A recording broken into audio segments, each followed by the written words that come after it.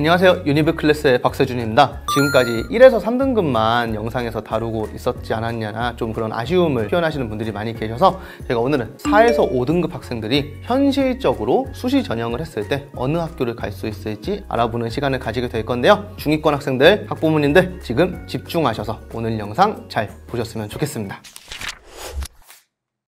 우선은 오늘은 학종 기준으로 이야기를 하려고 합니다. 자료를 보면은 같은 대학이어도 교과 전형이랑 학종 전형에서 평균 내신 등급들이 다르다는 것을 확인을 할 수가 있어요. 특히 교과 전형하고 종합 전형은 합격자들의 평균 등급의 차이가 많이 나죠.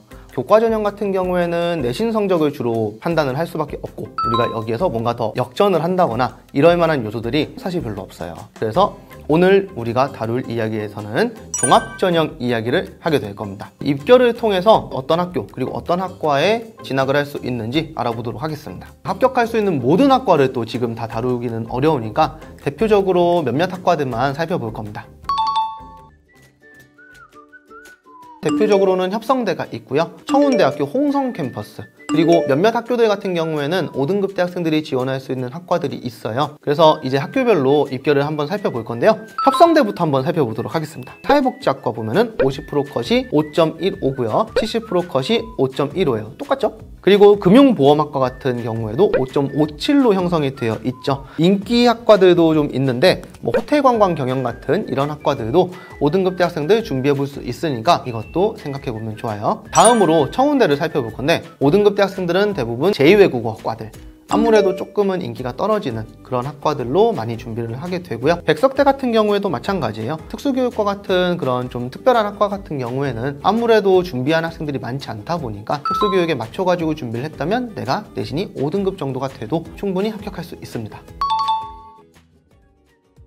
사실 4등급 대 학생들이 갈 수 있는 학교들은 굉장히 많이 있고요. 먼저 3, 6대 입결을 한번 살펴보면은 글로벌 한국학과는 50% 컷이 3.77, 70% 컷이 4.20, 유아교육과가 3.44, 여기는 70%도 3.44죠? 그리고 컴퓨터공학부는 4.67, 4.93 이렇게 형성이 되어 있어요. 보면 알겠지만 유아교육과 같은 이런 인기학과들은 4등급 대 학생들이 지원하기 좀 어렵기는 합니다.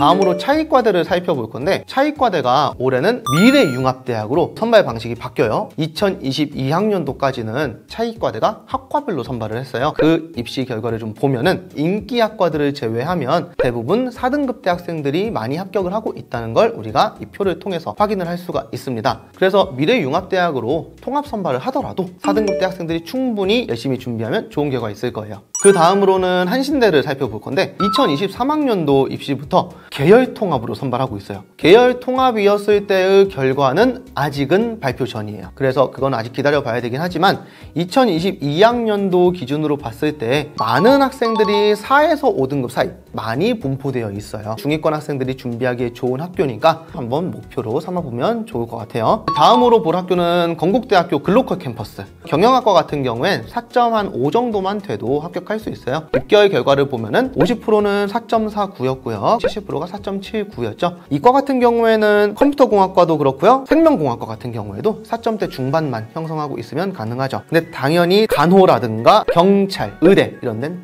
어렵다. 그런 부분들의 차이가 있다는 거 참고해 주면 좋겠고요. 다음으로 이제 연세대학교 미래 캠퍼스를 볼 건데 자율융합 계열은 50% 컷이 4.18이 나오고요. 70% 컷이 4.37이 나옵니다. 그리고 data science가 4.56, 4.64 이렇게 형성이 되는데 여기 보면은 산출 반영 교과목에 또 설명이 되어 있죠. 국어, 영어, 수학, 과학, 사회 딱 이거 다섯 개의 주요 과목들을 기준으로 삼았을 때 이렇게 나온다는 뜻이에요. 소프트웨어 학부라든가 디지털 헬스케어 학부라든가 이런 학과들은 4등급에서 준비한 준비하기에는 조금은 어려움은 있어요. 다음으로 볼 학교는 강원대입니다. 동물응용과학과라든가 뭐 동물산업융합이라든가 산림과학부 이런 학과들 같은 경우에는 4등급 학생들이 지원을 할 수가 있어요. 근데 이제 올해 전형에서 미래인재 전형 2가 생겨요. 여기에는 면접 40%가 추가됩니다. 그래서 내가 내신이 조금 낮지만 생기부를 충분히 잘 챙겼고 면접도 잘 볼 자신이 있다면 이 전형으로 과거에 있었던 이 내신 성적보다 더 잘 갈 수도 있어요. 다음은 이제 충북대. 중어중문학과 같은 경우에 보시면은 50% 컷은 3.98이에요. 근데 70% 컷이 4.10이죠. 지역건설공학과 같은 경우에는 50% 컷이 4.13, 70% 컷이 4.18이죠. 그래서 여기도 마찬가지로 4점대 초반 정도인 학생이 지원해 볼 수 있는 학과들이 있습니다. 다음으로 우리 충남대를 살펴볼 건데 컴퓨터 융합학부 같은 경우에 소프트웨어 인재 전형이긴 하지만 열심히 프로그래밍 관련해서 공부하고 활동을 했다면 충분히 가능한 전형이에요. 그리고 영농 창업 부분으로 내가 생각을 하고 있다. 그러면은 원예학과나 응용생물 같은 이런 학과들도 준비해 봄직합니다. 진로 목표랑 관련해 가지고도 어떤 학과 전형들이 있는지도 찾아보는 게 중요하겠죠. 청운대 같은 경우에는 인천 캠퍼스랑 홍성 캠퍼스 두 개가 있는데 인천 캠퍼스에는 광고 홍보학과 같은 경우에는 3점대 중반 정도는 되는 학생들이 많이 진학을 해요. 그래서 여긴 좀 어렵지만 그 외에 뭐 경영학과 같은 경우에도 4점대 에서 형성이 되어 있는 걸 확인할 수 있어요. 그리고 하나 더. 청운대는 산업대학이어서 수시 6장 카드에 소속이 안 돼요. 그래서 6장 플러스 알파로 쓸 수 있거든요.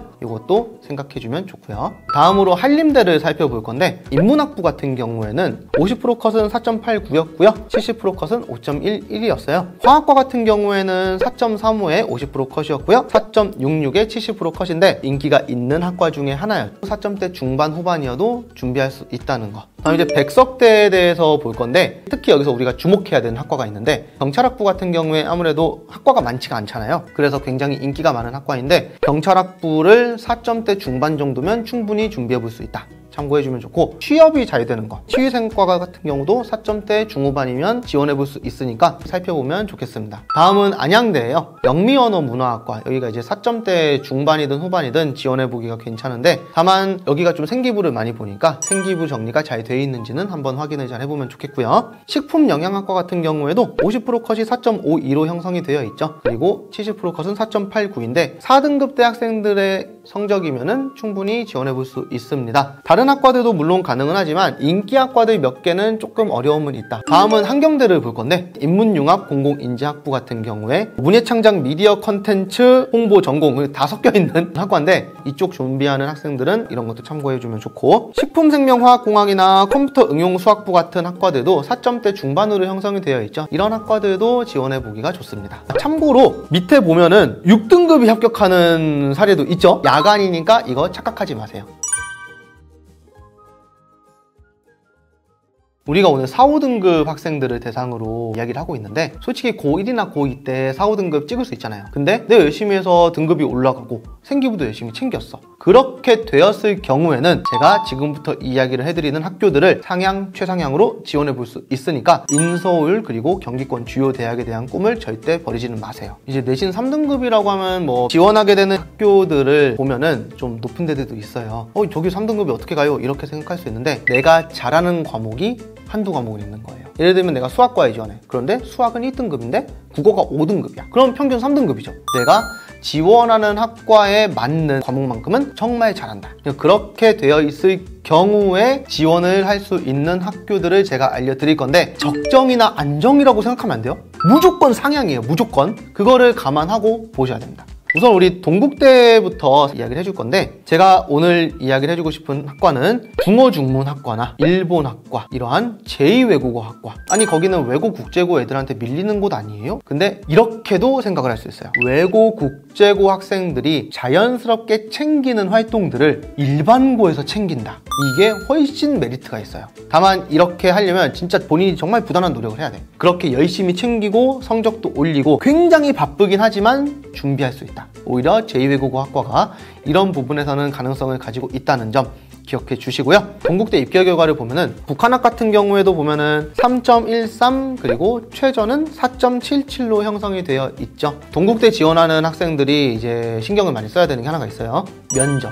1차 서류에서는 최초 합을 할 수 있는 성적을 가진 학생이 면접을 보고 나서는 추가 합격권으로 밀려난 학생이 있습니다. 1차에서는 추가 합격권 성적이었던 학생이 면접을 보고 최초 합을 하는 학생도 있고요. 면접을 굉장히 중요하게 본다는 것보다 이 학교는 학생이 이 학과 그리고 본인의 진로, 흥미 분야에 진심을 다하고 있는지를 보는 거예요. 그러니까 여러분들이 생기부를 반드시 진정성 있게 챙기고 면접도 열심히 준비해야 돼요. 다음으로 국민대를 살펴볼 건데 중국어문 전공 같은 경우에는 50% 컷이 5.40에 70% 컷이 5.91이죠. 이거 딱 봐도 이거 자사특목 학생들이 많다는 소리죠. 외고 학생들 특히 그래도 일반고 학생들도 3등급 정도 받아주면 충분히 도전해 볼 수 있습니다. 건설 시스템 공학부 같은 경우에도 50%는 3.03이고 70%가 3.24잖아요. 살펴보면 좋겠고요. 다음으로 광운대입니다. 전자통신공학, 전자융합공학, 전자재료공학, 건축학, 건축공학, 수학과 동북아문화산업학부, 국어국문학과, 영어산업학과, 법학과 같은 이런 학과들 많이 있어요. 문과 같은 경우에는 뭐 국어국문학과라든가 영어산업학과 이러한 학과들이 3점대 초중반 정도 되면은 지원해 보기가 괜찮아요. 다음으로 상명대학교입니다. 문헌정보라든가 각종 사범대 그리고 식품영양학 이러한 인기 학과들을 제외하면 은 3등급 초중반대 학생들이라면은 충분히 지원해 볼 수 있습니다. 역사 컨텐츠는 최저가 3.62로 형성이 되어 있고 평균이 3.21이죠. 공간 환경 같은 경우에는 평균이 3.34, 최저가 4.16이에요. 그래서 3등급 중반 정도 학생이라면 생기부 잘 챙겼다면 지원할 수 있습니다. 다시 한번 말씀드리지만 지금 상향으로 지원할 수 있는 3등급 대의 인서울 경기권 주요 대학들 이 대학들은 내가 지원하고자 하는 그 과에 어울리는 교과목만큼은 잘 본 경우 그리고 상향 곡선을 그려서 내신이 점차 향상한 경우를 이야기하는 거예요. 평균적으로 3등급 쭉 찍었어. 그러면 이제 더 어렵죠. 전국의 중위권 학생 학부모님들께 제가 정말 강조드리고 싶은 게 있어요. 학생들 같은 경우에는 당연히 목표 좋은 대학들로 잡고 싶을 겁니다. 근데 나의 현재 내신에서 지원을 할 수 있는 대학 범위를 파악하는 것도 입시 준비예요. 내가 지금 내신이 5등급이야. 근데 저는 정시 보고 서울대, 연대, 고대 갈 거예요. 가겠냐고. 그러지 말고 지금 내 내신에서 어디까지의 범위가 가능한지를 반드시 냉정하게 볼 수 있어야 돼요. 학부모님들 같은 경우에는 아무래도 중위권 학생들 같은 경우에는 포기를 많이 합니다. 절대로 그랬을 때 성적을 가지고서 다그치거나 하지 마세요. 응원을 많이 해주시면 좋고요. 그리고 주변에 어디는 어디 갔니 이런 것들로 비교하시면 안 돼요. 역효과 납니다. 대화를 많이 하면서 어떤 부분에서 학습이 어려운지 이런 것들을 자세하게 이야기를 나눠보셔야 합니다. 상담 때 학부모님들 말씀하고 학생들 이야기하고 다른 경우가 너무 많아요. 그런 것들을 반드시 어느 정도는 이야기를 해두고서 오시면 훨씬 더 좋은 이야기를 들으실 수 있어요. 이렇게 오늘은 4에서 5등급 학생들이 현실적으로 지원 가능한 대학 라인들 그리고 3등급 정도의 학생들이 지원할 수 있는 대학들과 학과들에 대해서 알아봤어요. 뭔가 현실적으로 접근하니까 이상하고 다르니까 좀 당황하셨죠. 아, 내가 이거밖에 안 되나? 그런 생각을 하셨을 수도 있고, 아니, 앞에 있는 저 선생님은 왜 저렇게 부정적인 얘기밖에 안 해? 이럴 수도 있어요. 근데 이게 현실이야. 그러니까 오늘 이야기하는 이 라인들을 잘 파악하고 나는 어느 정도 범위에 속해 있는가 이거를 반드시 기억해주면 좋을 것 같아요. 다음 영상에서는 4, 5등급 학생이지만 내신도 상향곡선을 그리고 생기부도 더 잘 챙겨서 그래도 목표했던 학과를 학교를 합격했던 사례들을 가지고 또 이야기를 나눠 볼 거예요. 그러니까 다음 영상도 꼭 놓치지 말고 봐주세요. 오늘 내용이 유익하셨다면 구독과 좋아요 꼭 부탁드립니다. 저는 다음 영상에서 다시 뵐게요. 지금까지 유니브 클래스의 박세준이었습니다. 감사합니다.